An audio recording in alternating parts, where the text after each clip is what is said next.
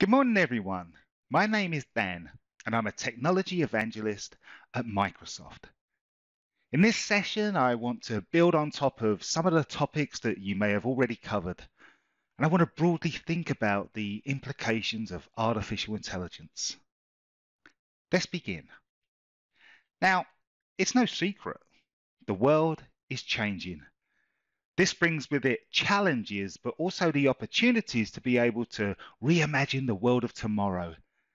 It's a time for us to look towards technology and think about how we might be able to do things differently, how we might be able to do things better. But to understand where we are, we need to take a step back. We need to understand where we've been. Now, what better way to do this than to go back to the very beginning? You see, artificial intelligence has become powerful, and it's become powerful because it's able to learn from the data around it. But if we stop and think about it, isn't that how humans have become powerful too? Take our hunter gatherer ancestors, for example. They only survived because they learned to read the world around them. Weather patterns, herd migration, season changes, and the benefits of fire. They were surrounded by data and they put it to great use. It's no different today. We still collect and share data, but as the volume grows, we've learned to build tools that better understand, identify, and respond to its potential. We call these algorithms. Now, our digital lives are governed by them. When we use social media, when we stream a film, plan a trip, and shop online, Algorithms are working behind the scenes to move the process along. Think about when you search on the internet. That's an algorithm that determines the results, or perhaps the newsfeed of your favorite social media platform. Algorithms look at your friends, your mutual friends, and your interests and purchase preferences before using that data to customize a feed that's presented back to you. Ironically, the information we provide fuels the information that we receive. But how does AI learn? Do machines really think? Can they think? Well, to answer this, we need to consider the question what is intelligence? For artificial intelligence, we consider this to be the following five attributes learning, reasoning, problem solving, perception, and language. Let's look at these in more detail. Now, Currently, computers learn through supervised, unsupervised, and reinforcement based methods. We'll start with supervised, and as you can probably guess, it means someone looking over the shoulder of the CPU and judging whether the computer is getting things right. It means having a full set of labeled data while training the algorithm. This way of teaching means that each example that we present is tagged with the right answer so the machine can learn through association and repetition. It's like teaching a child to read with phonic cards.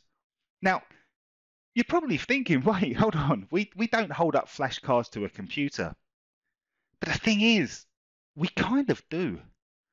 Think about those apps that can identify objects. You know, this is a car, this is a bike, this is a person.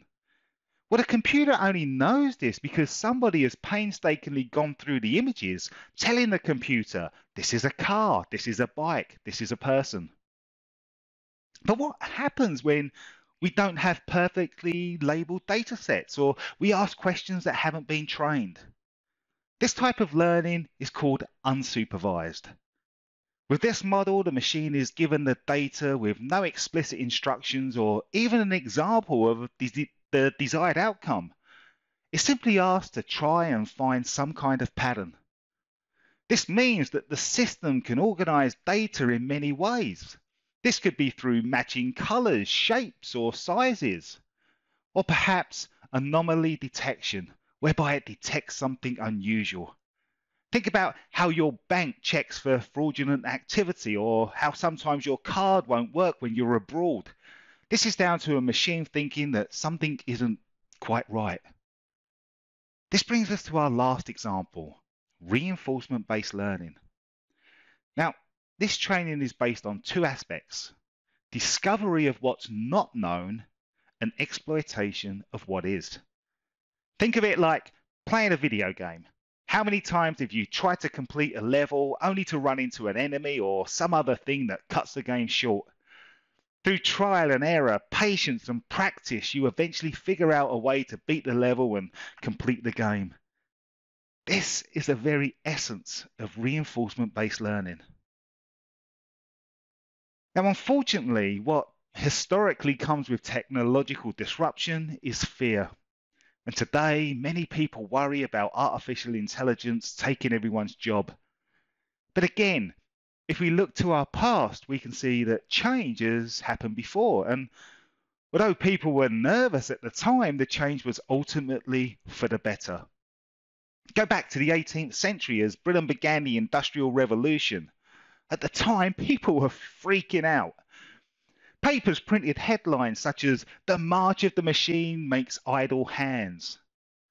But what actually happened was an explosion in economic growth. It changed how, when, and where people worked. It inspired innovation and it accelerated production. In short, it made humanity step up its game, and we're still enjoying the benefits of it even today. The fact is, almost everything that we use, consume, wear, and take for granted is a byproduct of the Industrial Revolution. By embracing the change, we've reaped the rewards. Today, Hospitals use machine learning to help doctors diagnose illnesses more quickly. In fact, artificial intelligence is now more accurate at diagnosing breast cancer through mammograms than its human counterparts. This makes the screening more accurate, it produces better outcomes, and ultimately serves to reduce the stress of the patient. But AI also raises questions of ethics, with some people asking that just because we can does that mean we should? And opinions are divided. Like any change, people will discuss the pros and cons, the risk and opportunity. What's important is that when we build AI, we build it to be fair. It must also be inclusive, transparent, accountable, and safe. We must make sure that these principles are firmly rooted in the design so that they have a positive impact. So, where does this leave us? I can't tell you what new jobs will emerge. But what I can say is that I think AI will have a massive influence on them. Banks will need data engineers, retailers will need data scientists, even farmers will need technology to help them better grow their crops.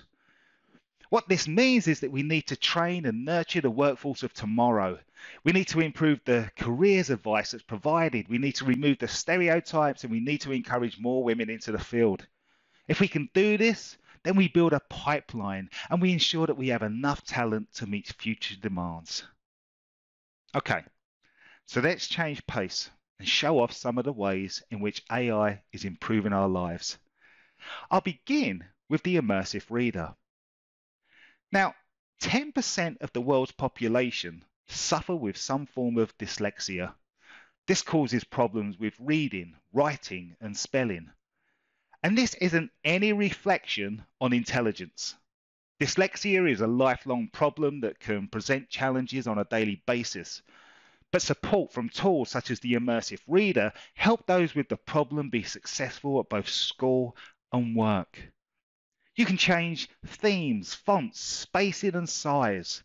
You can break down syllables, highlight nouns, verbs, adjectives, and adverbs. You can add picture dictionaries, change focus points, and translate into different languages, meaning that we can break down borders and give a voice to all. But what about business? Products such as QnA Maker are empowering them to quickly create chatbots with nothing more than answering a few simple questions. By quickly converting the content into simple question and answer sets, we can create conversational AI in minutes, supporting rich text, images, and links. This is the realization of consumer based AI. It's not just for large corporate entities, but it's an enrichment tool for all. Now, I want to show you something. This is a Microsoft HoloLens. It's an untethered mixed reality headset that blends the physical and digital worlds together. By using spatial mapping through powerful sensors, it, it maps the environment around you and projects holographic images into your peripheral vision. It does this with a depth camera and four different light sources, along with long throw laser mapping and short throw illumination. Together, these equip the device to quickly understand human interaction and gesture control. Let's take a look.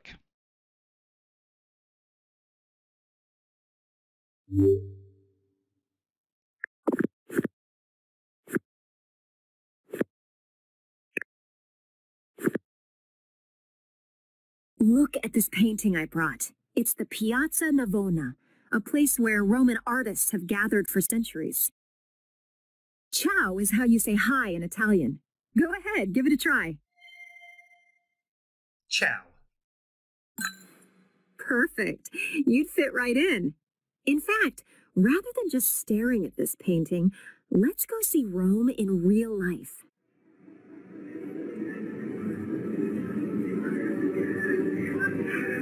Feast your eyes.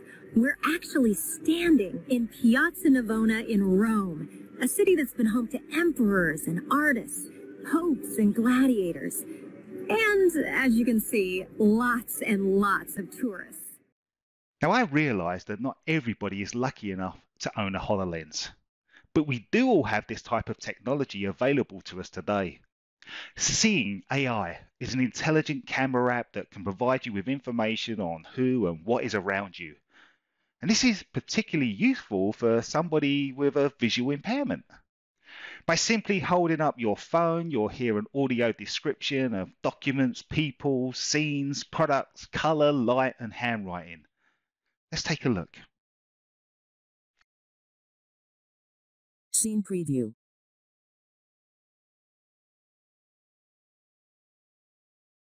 Processing.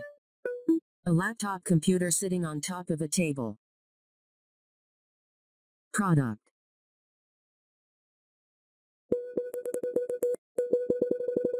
Processing. Heinz Vegetable Soup 400G. Handwriting preview. Processing. I can read this. Person. One face near center, less than a meter, processing. 38 year old man wearing glasses looking happy. So there you have it. A handful of cool demos that highlight where we're headed and ones that you can pick up and use today. But let's go further. Let's build an end to end solution from scratch and bring together the power of cloud computing, artificial intelligence, and the Internet of Things so that we can help solve a real world issue. Now, if you want to follow along, you'll need access to an Azure subscription, which you can get for free by following the link on the screen. I'll also include a link to the step by step instructions on my website, along with any files that you may need. So sit down, get comfortable, and we'll begin. So in this scenario, we're going to imagine that we're a group of scientists and we're trying to monitor the dwindling polar bear population of the Arctic. As such, we will pretend that we have placed hundreds of motion activated IoT cameras at strategic locations throughout the region and then use artificial intelligence to automate the process of looking at the captured images and plotting on a map when a polar bear has been spotted. So the first thing that we want to do is build our storage account. This is nothing more than a drive hosted in Azure that will enable us to store the images generated from the cameras. To do this, I'm going to open up a Cloud Shell and run some simple commands. Now it's worth noting that you don't have to use a command line. Cloud services will allow you to use a graphical interface, but as you progress, you'll often find that it can actually sometimes be easier doing it from a command line and shell. So let's build our resource group, which is nothing more than a space to store the other assets that we're about to create. Think of it like a folder for your documents. As you can see, the command is pretty simple. I'm just stating that I want to create a new resource group and that I would like to call it PBears and place it in a Central American data center. Next, I will create a variable for my account name, and I will call this pbearphotos. Now, a variable is used to store information that we can reference at a later stage. This is super useful when we're using the command line or writing programs because it means that we can call the variable at any time and know that the context is correct. Look at how I use it here when I create my storage account. I simply call my variable and place it into my new resource group. Finally, I will create a folder from within the storage account.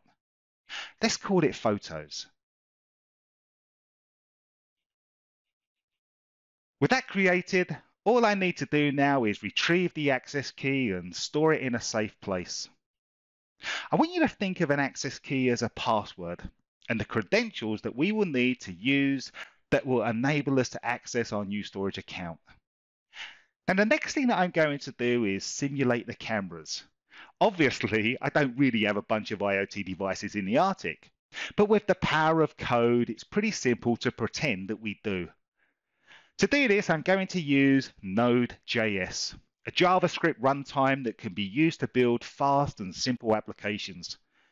To begin with, I'll check the version that I'm running, and as we can see, it's version 12.17. Next, I'll install the Azure Storage Interface so that it can access the folder that we've created previously. You'll see that I've downloaded a whole bunch of images that we can use for this demo. I also have a couple of files needed to simulate the cameras and upload the images into the photo location. Again, don't worry if you're following along. I've put everything that you'll need into a zip file and hosted it on my website. You just need to download them. What we do need to do though is set the storage account name and the storage account key.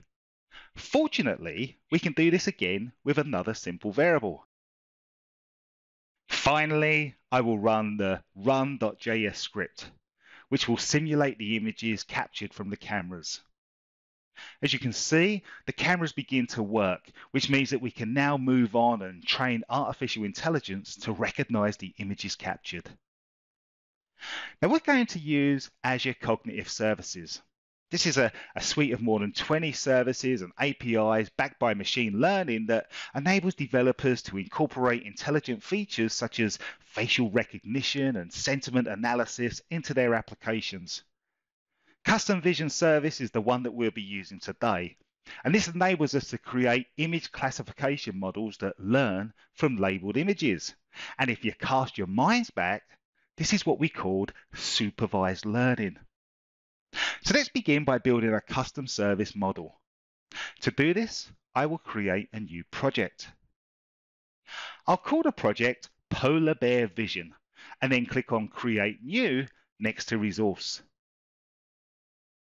I'm going to name my new resource Polar Bear Vision and ensure that it's placed into the resource group that we created earlier. I'm also going to check the location and the pricing of the model. Next, I will amend my project name for clarity, add a description and point to the storage account created previously. Now I want this to be a classification based project and I will only place a single tag on each image. This should make it nice and easy to train. From here, we can begin to add the images. So let's begin with adding some Arctic foxes. As you can see, all I need to do is select the photos and add the tag before they upload into the training set. Let's now repeat these steps for polar bears.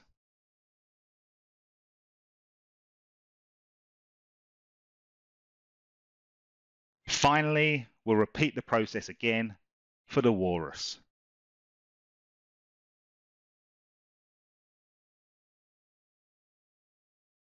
With our images uploaded, we can train our model. I'll select quick as our dataset isn't very complex.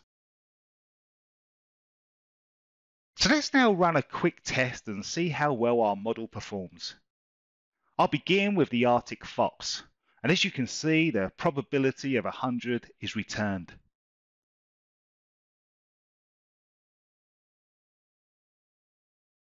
Next, we will look at polar bear, which again scores well. Finally, we will look at the Walrus, which again scores top marks. So great, let's publish our model, grab the URL and access key so that we can connect to it later. Now, the next thing that we want to do is run an Azure function. These allow us to run small pieces of code without having to worry about running a computer or virtual machine. And more often than not, these are referred to as serverless computing. They're triggered by a specific type of event, which in our case will be when a new image is captured by our IoT cameras. So from the Azure graphical interface, let me navigate into our resource group. Now, I'm going to be using this lots, so let me save time by pinning it onto my dashboard. You can see that we're able to change the format and layout of the dashboards and customize it to taste. Now, I'm a neat freak, so I will reduce the resource group to a more manageable size. Okay, with that, let's add some new services from the Azure Marketplace. From here, I'm simply going to search for an Azure function and then select the service from the list of results. I'll ensure that I'm creating the service in the resource group that we created and give it a unique name as it's based on the internet naming conventions of DNS. I'll select Node.js as the runtime and ensure that the service is in the Central American data center before pointing it to the storage account that we created earlier in the exercise.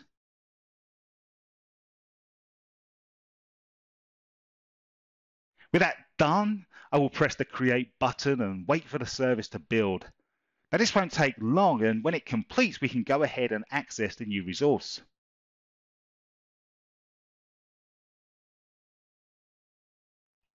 From here, I want to create a new function and I want this to have access to the Azure storage account that we created before.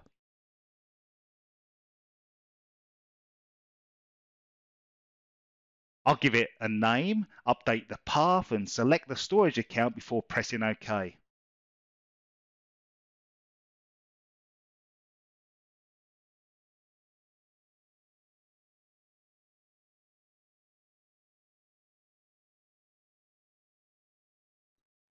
Now we will need to take note of these as they're needed in a later step, but when done we can go ahead and press create.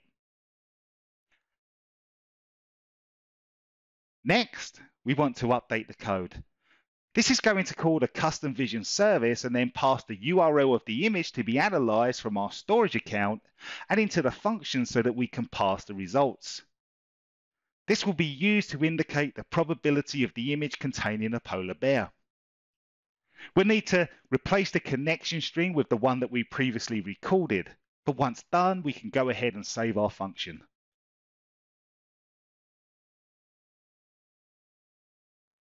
From here, we'll connect into a console and add the Azure Storage Connector.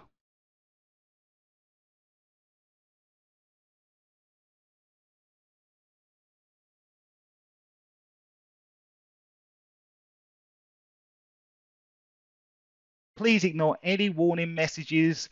You know, we're using an older version of JavaScript, so these are to be expected. So the next thing that we want to do is add two application settings. These will be the prediction URL and the prediction key. If you recall, these were retrieved when we built our custom vision service. So let's save the changes and head back into the function. So I'm going to open up the log service from under the code and test tools.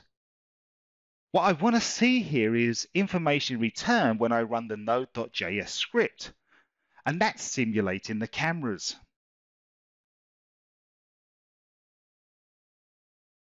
As you can see, the information is coming through, which means that we have now created a fully functioning service that transmits wildlife photos to online storage and then uses artificial intelligence to, to classify the images. I mean, how awesome is that? But we don't want to stop there. We want to make this visual. We want to be able to see the results on a rich graphical map, not a boring log. So let's look at how we can achieve that. So the first thing that we want to do is build ourselves a database.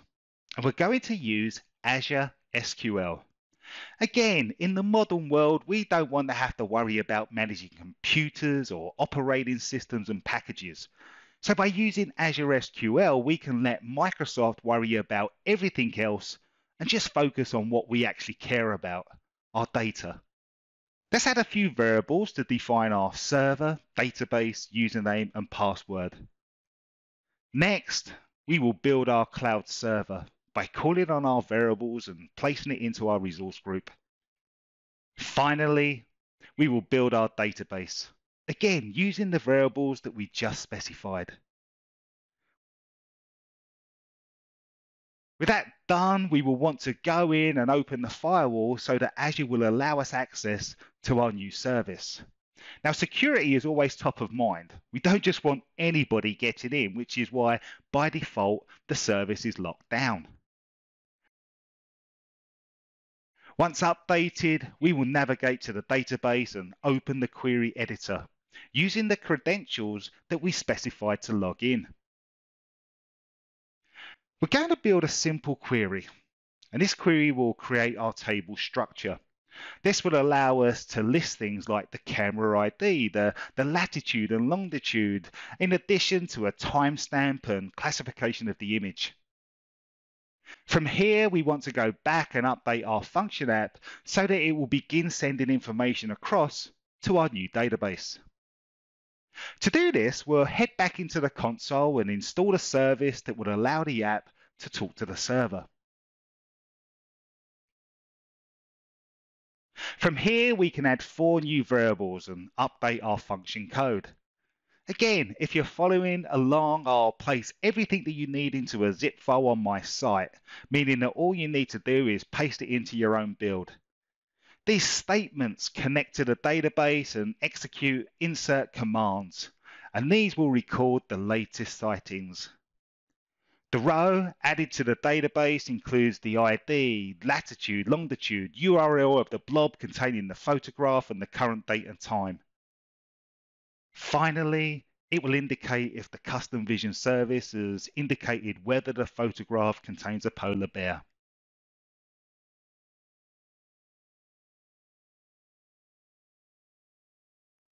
Now, before we run our node.js script again, we just want to update our application settings once more. This time we will add the database username and password.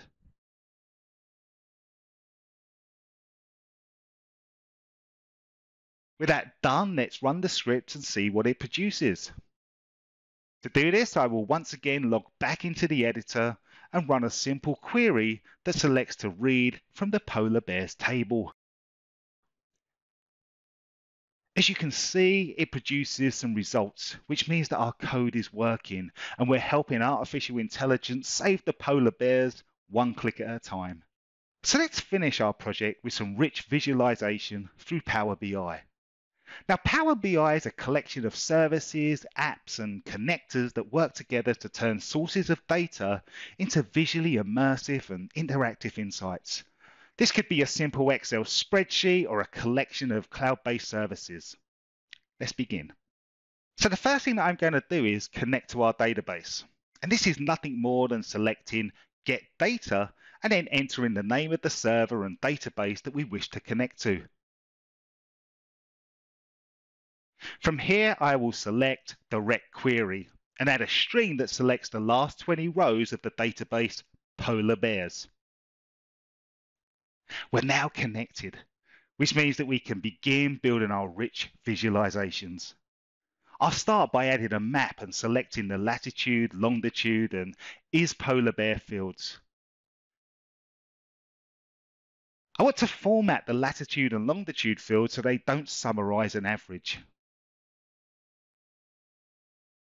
Next, I will create a table that pulls in the camera ID, timestamp, and polar bear detection fields. From here, I'll create a pie chart that lists the latitude and polar bear data points. Now I want to change the format of latitude to count as we're looking for numbers of detected bears. Finally, I will use the slicer tool, which is a great way to filter information in my visualizations. As you can see, this one will simply have the options true and false to indicate whether a polar bear has been detected. With my data added, we can begin formatting the page. It already looks good, but with a little tweaking, we can make it look so much better. To start, I'll change the visualizations of the map. I'll change the name, data colors, and the map style from road to aerial. Now, this is personal preference. I think it makes it look much more impactful, but please feel free to play around and adjust to taste. Next, I will update the pie chart. I will change the data colors, labels, and title into a format that I like before formatting the table with some minor modifications. Again, adjust to suit. That's a great thing about this tool. You're able to make it your own. So now we get to the end of our build. Let's go ahead and give it a whirl. Let's log into our database and clean up the tables. Now, I want to do this because I want it to run clean so that we can see that the end-to-end solution is working. We can do this with a simple delete from query, which should execute instantly. Now let's jump back into our command prompt and run our node.js script one last time. This will take a few minutes, but when we refresh our Power BI report, we should see all of our new data being richly visualized by the tool. And look, that's just what we've got. A report that shows in near real time polar bear activity on the island, highlighting false and positive sightings and filtered through the slicer. We did it! An end to end solution using a whole bunch of cool technology. And there's so much more that you can see and do. Head over to my website where I have a whole bunch of links that will enable you to learn, build, and try artificial intelligence for yourself. Now, it's my hope that this lesson has shown you the immense power of technology and how artificial intelligence will empower us all. This is the future that we dreamed of. This is, this is what happens when we embrace technology and innovate. It empowers us all to achieve more. This in turn enables us to shape the world that we wish to see. Thank you.